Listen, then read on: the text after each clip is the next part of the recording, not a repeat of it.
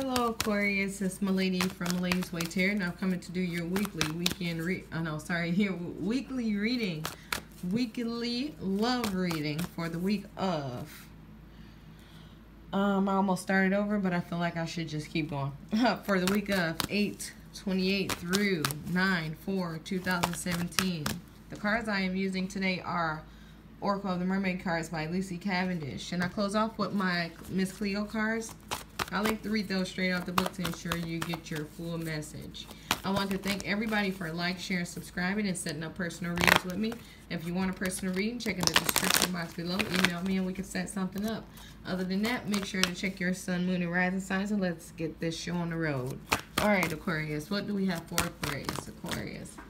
Oh my God, it flew all the way across the floor. Let me go find it.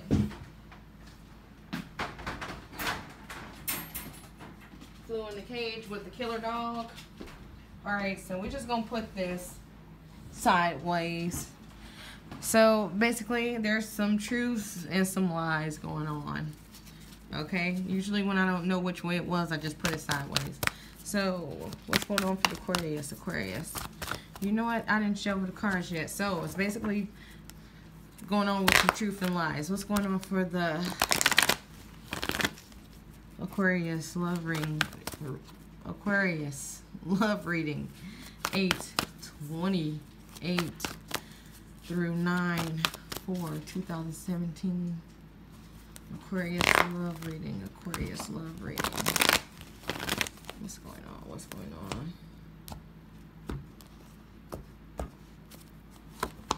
All right. Oh, so um, seems like some kind of stuff is hidden from you. Somebody's hiding stuff from you, hiding things that have went on with their ex, or that is going on with their ex, or they may be hiding stuff from their person about you. Okay, but this is ex is hiding something.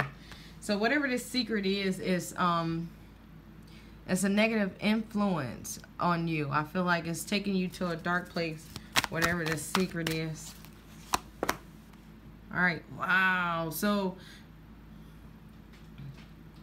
I'm feeling like somebody is not happy about their ex making a sacrifice. And it's took them to a bad place. And I keep hearing baby. So somebody is not happy about their ex um, terminating a pregnancy. Okay. Um, let's clarify the sacrifice card. What's going on with the sacrifice card for the Aquarius? All right, so somebody's in disbelief about the situation. Okay, so, hmm. Yeah, so somebody's in disbelief about the situation and they feel like somebody took something from them. So it's just something that your ex either took from you or just didn't give you that makes you feel like, I mean, it's just taking you to a bad place. All right, yeah, wow. so whatever this is, is spiritually, mentally, physically draining you. Like, these are the darkest cards in the deck. The darkest cards in the deck.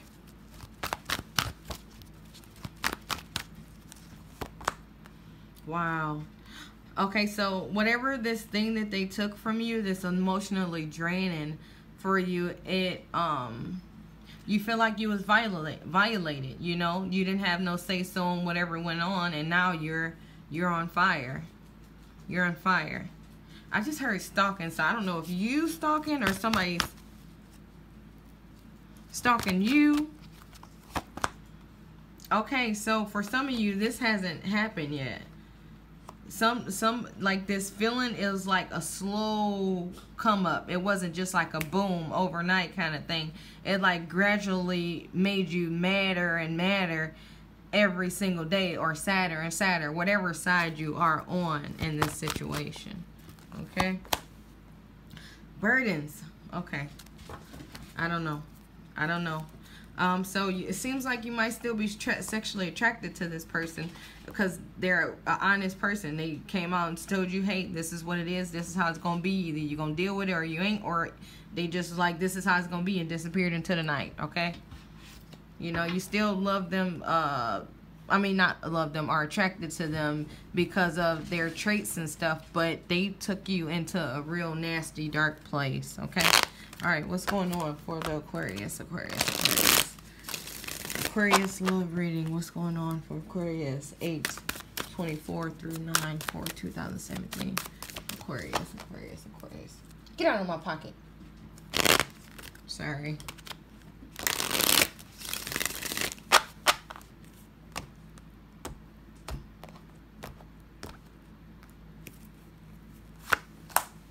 Mm. Mm-mm. I'm sorry, Aquarius. I don't like this, this, this reading. Oh, my God.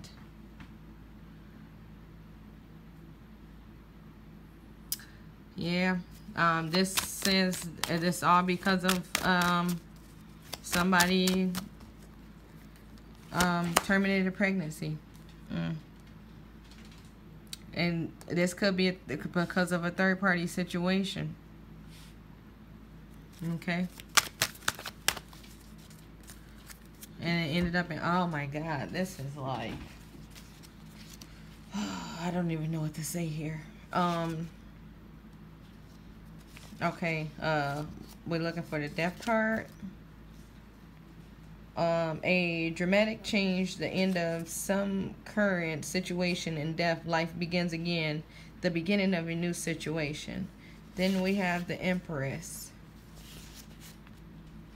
My heart is burning right now. Uh, uh, a time that you may doubt yourself or your um, circumstances. However, new and exciting times are approaching. A time of love, sensuality, sens sensu I can't say it. You know what I'm trying to say. Pregnancy may be indicated. Doubting yourself, new beginnings, pregnancy, in love. Okay? I'm sorry, I had to let the dog out to get your cards off the cage. And now he's terrorizing the neighborhood. Alright, so we got the three coins here. The three of coins says it may be time to to get what you want, there will be much need for work and skill to succeed. Okay. Now I got the Three of Swords. It says a broken heart, whether in a relationship or life, an ending to an, an affair, a bitter heartbreak, take care of emotional problems. So, I don't know. So I feel like somebody ended the pregnancy because of a third party situation. You got the two, three cards and this one is the heartbreak. So maybe this person you had to travel to see them, or um, maybe you guys were supposed to go on some kind of trip together. But I feel like somebody just cut you dry, and that was it. All right. That's all I have for you guys. Make sure to check your sun, moon, and rising signs. If you want a personal read, check in the description box below. Other than that, have a great week.